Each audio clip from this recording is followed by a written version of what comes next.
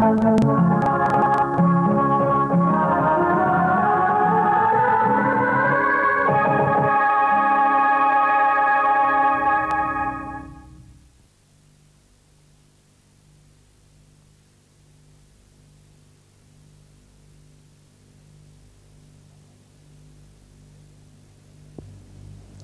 friends, welcome to the first lesson of the microprocessor series. In the near future, computers are going to dominate our every walk of life, be it home, office, industry, travel, leisure, and what have you. Every facet of our activity, every machine that we use are likely to be computerized within the next few years. This widespread use of computers have been made possible by this tiny electronic device called microprocessors. This small device contains thousands and thousands of electronic elements. Before we go into a detailed study of this wonderful device, let's see its wonders at work in different fields. Of course, we would find a microprocessor in every personal computer as its primary computing element. But quite often, the microprocessor is deeply embedded inside other non-computing machines. A microprocessor controls the operation of many useful devices like a photocopier,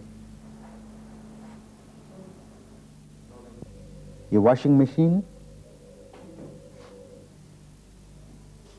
an automatic telephone exchange, a numerically controlled machine. It is also used in many entertaining games and toys. In this session, I will discuss the underlying concepts and the basic building blocks of a microprocessor. As we proceed along, you would realize that a microprocessor may be explained in terms of simple combinational and sequential logic elements. Also, we would introduce some conceptual framework which would be useful in understanding the working principles of a microprocessor.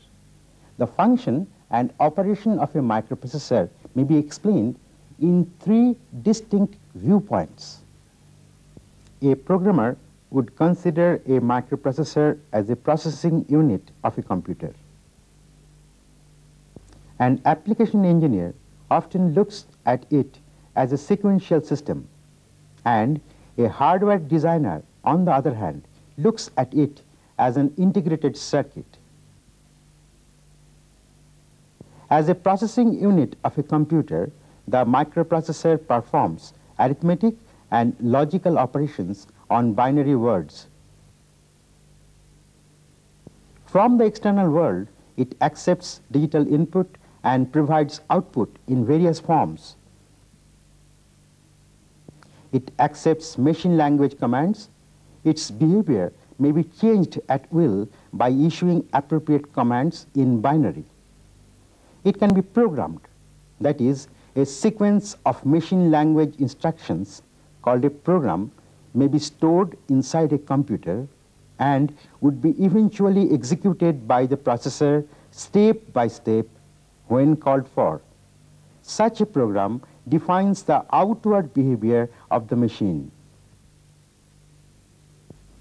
As a sequential system, its behavior may be explained in terms of discrete operational steps. That is, it performs several steps in a defined sequence. As a large-scale integrated circuit, the microprocessor is a compact and economical solution to a large number of digital functions. The microprocessor comes in standard packages with limited number of pins and specified power supplies. It has, on the other hand, limits on the temperatures of operation, specified ranges of clock speed, and drive capability known as fan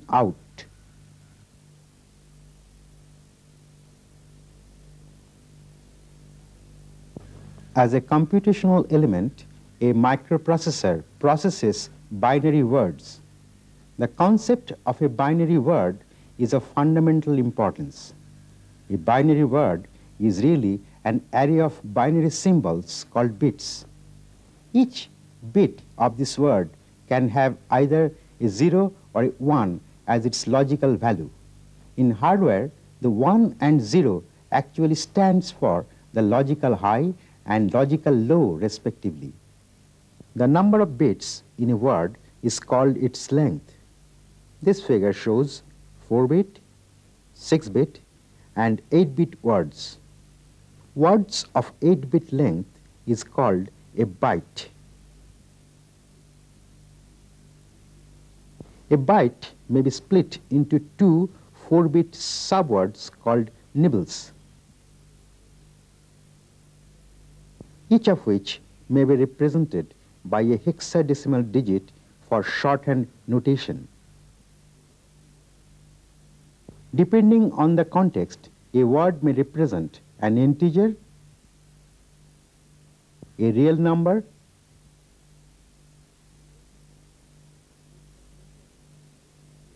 a letter, a code for something, or a computer instruction.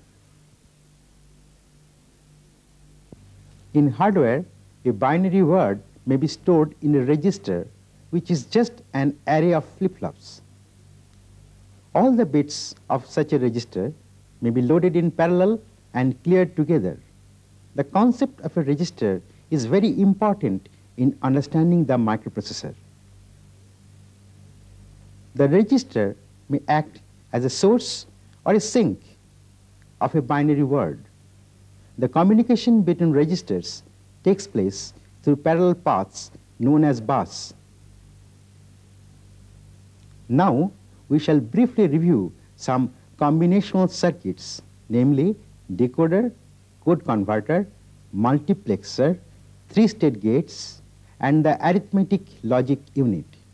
Let's discuss this one by one. A decoder accepts a binary word as input. Depending on the input word, only one of its output lines would be active. In the example shown, the input word is 3 and consequently only the output number 3 is active. As shown, a code converter converts one binary word into another word according to a predefined table. In a multiplexer, we first encounter the concept of control. The multiplexer is like a multi-position switch whereby data from only one of the input lines passes to the output. The selector arm of the input line is controlled by the selector or control input. A multiplexer has a number of data input lines A0, A1, A2 up to A7, one output line and a set of control or selector lines S0, S1 and S2. Here the selector input is 010 0 that is decimal 2. Therefore, the data from input number 2 appears in the output. In general, in a multiplexer, there would be m selector lines and 2 to the power of m input lines, but only one output line. A tri-state buffer is the simplest of three-state gates. It has one output, one data input, and one enable line. Enabling the gate by activating the control input makes the data appear in the output like a normal buffer. Disabling the gate leads the output to a high impedance state. As shown in the figure, a multiplexer may be constructed by tri-state gates and a decoder. Now, let us discuss the arithmetic logic unit or the ALU. It is the most important part of a microprocessor. It accepts two binary words as input and provides one binary word as output. Basically, it is a multifunction unit. Depending on the function control input, the two input words may be added, subtracted, compared, logically ANDed, ORed, complemented, etc., etc. The result of these arithmetic and logical operations appear in the output.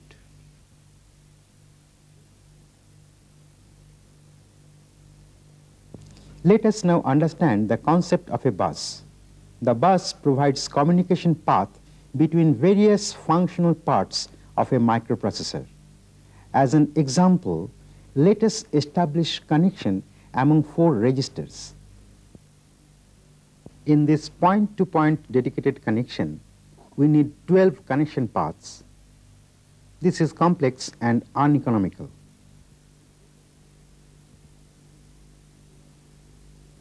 A better alternative is to use a shared data path whereby any two registers can utilize the common line or bus to exchange data. The only shortcoming of a bus is that it can support only one source of data at a time. As a result, if two registers send or put their data at the same time, the result would be unpredictable. This is known as bus contention. In bus contention, not only the data gets corrupted, some hardware damage may also occur. Bus contention is not at all desirable. To prevent bus contention, some mechanism of access control is used so that only one source can put data in the bus at any point of time. A simple access control may be mechanized using tri-state gates and a decoder. Depending on the selection input, only one source is allowed to put data on the bus. The other sources remain insulated from the bus due to their high impedance states. So far, we have been assuming that the bus has a single line. In practice, a bus would contain a number of lines in parallel. This is called a multi-line bus. Such multi-line buses are found in a printed circuit board, between several boards as a backplane bus, or even within an integrated circuit chip.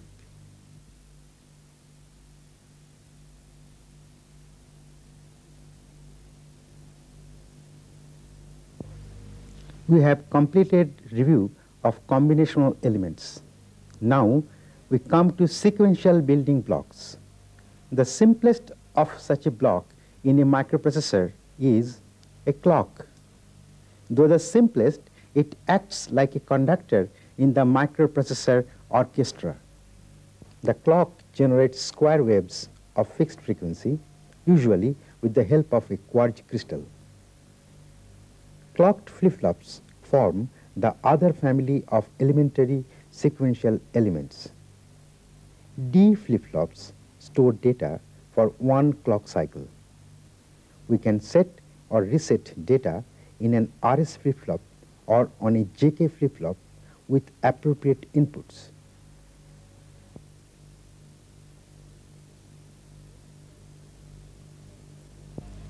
A register is useful because it holds data for future use. Once data is written into the register, it remains available till it is overwritten. Thus, a register keeps a word in store or memorizes it. A single bit register can be constructed by applying feedback and a tri-state buffer to an elementary D flip-flop to hold data for more than one clock period and to load it at any desired time. We have already seen how such enhanced flip-flops may be ganged together to form a register. As you can see from the figure, a register has a set of data input lines or write lines, a load or write enable line, and the output lines. Again, a simple register may be built by an array of on-off switches. The setting of the switches decides whether a bit is 0 or 1. This register is read-only. That is, its contents cannot be altered electrically. However, the contents of the switch register can be programmed or reprogrammed by setting the switches manually. Another type of read-only register uses electronic fuses in lieu of switches as shown. The content depends on whether a fuse is blown or not blown. Such read-only registers can be programmed only once.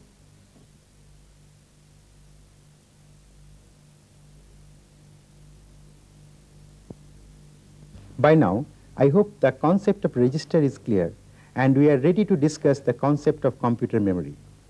The computer memory is a long array of registers. Each register in a memory may be accessed to read its content or to overwrite the content with new data. Each register must have a unique address which is permanent, but its content may vary. The method of locating a register by its unique address is known as random access. This term would be explained further in forthcoming lessons. Let us first consolidate the idea of address in a memory.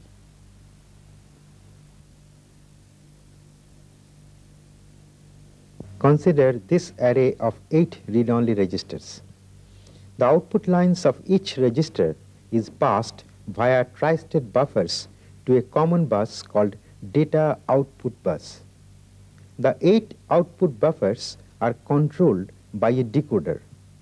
The 3-bit input to the decoder, A0, A1 and A2 are called the address lines.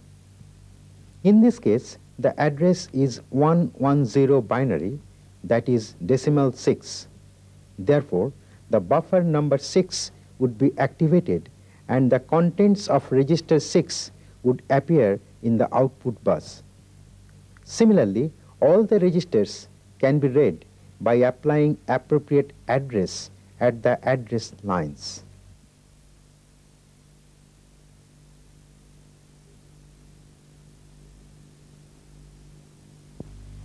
Let us understand the input-output behavior of typical random access memory with the help of a specific example.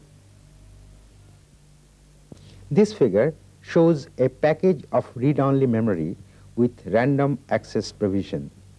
The four data lines indicate that each register is 4-bit wide. With the help of five address lines A0 to A4, any of the 32 registers can be accessed. The output enable or read control line may be used for timing and control of output data.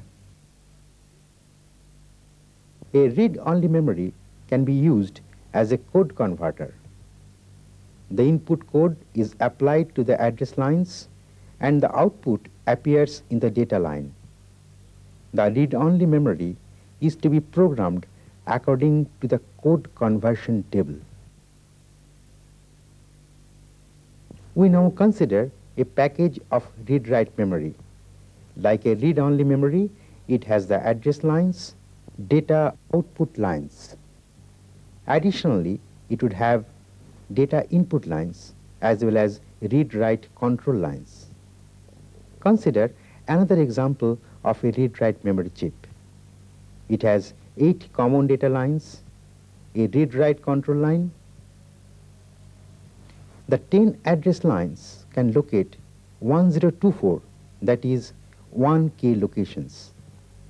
It has also a chip select line CS, about which we would discuss in a subsequent lesson.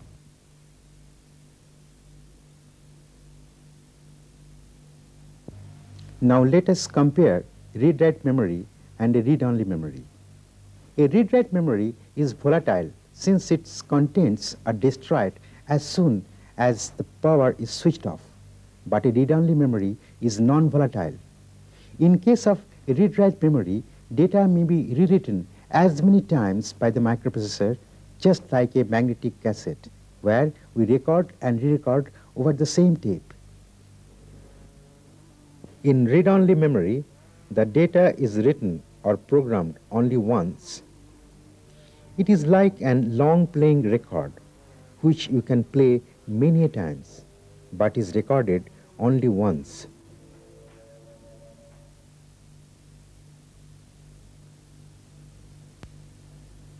We shall now introduce the concept of an elementary sequential system as well as that of a free-running state machine with the help of a binary counter. A simple binary counter is constructed by connecting JK flip-flops in cascade. Three such flip-flops would form a modulo 8 counter. It counts from 0, 1, 2 up to 7 and then back to 0. A counter is a simple sequential element called a free-running finite state machine. The data stored in its flip-flops define its state. It has no facility for inputs other than the clock. The state transitions are unconditional. That is why it is called free-running. The operation of a modulo 8 counter just described may be expressed by the state diagram. This shows the sequence of steps or state transition. The circles in the diagram denote states and the arcs show transitions. In a counter, the state and the outputs are the same. A more generalized sequential machine may be built by connecting a code converter. In this example, there are three output lines called R, Y and G only one of which could be made active at a time. With this modification, both the state as well as the output are shown in the modified state diagram. The same output sequence can be represented in a timing diagram. If we connect the R, Y and G outputs to three lamps of appropriate colors, the red lamp will glow for 5 cycles, the green lamp for 2 cycles, and the yellow lamp for 1 cycle only. We can now utilize our free-running sequential machine to regulate the traffic.